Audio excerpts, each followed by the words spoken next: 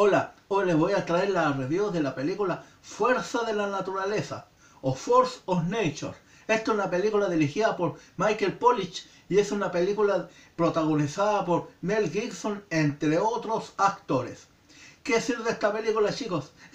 Esta película no me gustó absolutamente nada. La encontré un producto de eh, entretenimiento de bajo presupuesto y una película que está para pasar el rato nomás. Es de esas películas de acción que tú le dais el play y te olvidáis del mundo y pasa sin pena ni gloria que se te olvida a, la media hora que terminaste de ver la película.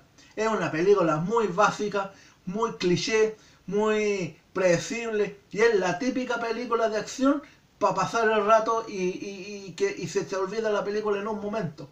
Es muy típica la película y es una película que no tiene guion.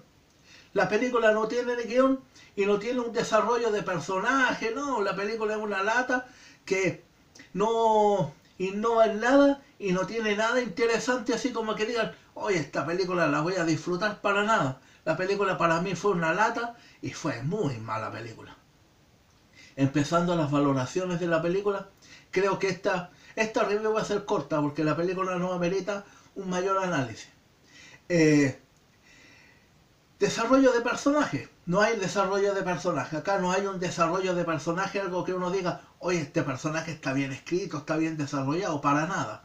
Eh, los villanos, los villanos son lo peor de la película, no tienen ningún carisma y no tienen ningún desarrollo de personaje. Los villanos están ahí para que la historia se desarrolle, pero los villanos son malísimo. El villano principal es malo porque tiene que ser malo, pero la historia es malísima de los villanos.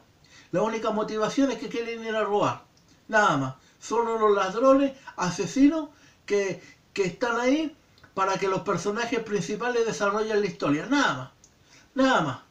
Eh, esta, este guion no tiene esta, una crítica sin spoiler, pero si ustedes vieron el trailer de la película, ya saben toda la película, porque los trailers cuentan toda la película. Esa es toda la película. Lo que sale en los trailers es lo que sale en la película. La película no tiene mayor eh, sorpresa. Hay un giro argumental al final, pero es al final. Pero en sí, la película no tiene ninguna sorpresa. Si ustedes vieron los trailers, ya vieron toda la película. Son unos malos que van a robar y nuestros protagonistas que tratan de sobrevivir. Esa es toda la película. Esa es toda la película. No hay un guion, un desarrollo, no, no, no. No hay giro argumentales, no. La película es lo más básica y fácil que se puede decir. Las actuaciones son para firmar el cheque e irse. Por ahí me Gibson el que, el que muestra una, una buena actuación, buenos matices, un buen desarrollo. Eh, eh, todo el peso dramático de la película van por el lado de Mel Gibson. Mel Gibson se nota que es un gran actor, que el tipo le pone carisma a la película y le pone un toque especial. Pero fuera de Mel Gibson, los demás actores fueron para filmar el cheque e irse. No hay grandes actuaciones en esta película, pero para nada. El guion es lo más básico que se puede decir. Como les dije recién, son los ladrones que van a robar y los protagonistas de la película van a sobrevivir. Ese es todo el guion. El guion es malísimo y, no tiene ningún... Eh, algo que uno diga, oye, este guion es, lo, es lo mejor. No, para nada.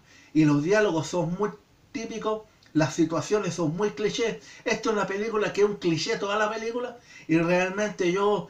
Eh, me, aburrí mucho porque las secuencias de acción son muy típicas y creo que no es una buena película así que uno diga, oye, esta película es buenísima, no. Si tú estás buscando una película de acción para pasar el rato, te la recomiendo. Si tú estás buscando una película entretenida para ver con tu pareja, te la recomiendo. Esto es una película categoría R para adultos.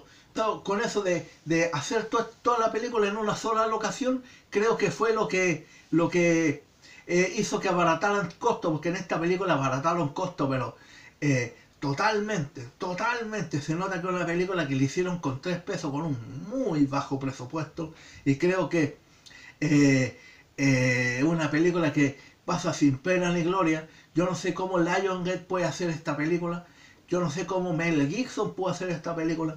Es una película muy básica que no tiene, no tiene guion, no tiene desarrollo, no tiene buena historia, no tiene una buena producción. los diálogos son clichés, las situaciones son clichés, cosas que tú vas adivinando lo que va a pasar en la película y cuando una película tú la adivinas, es una pésima película.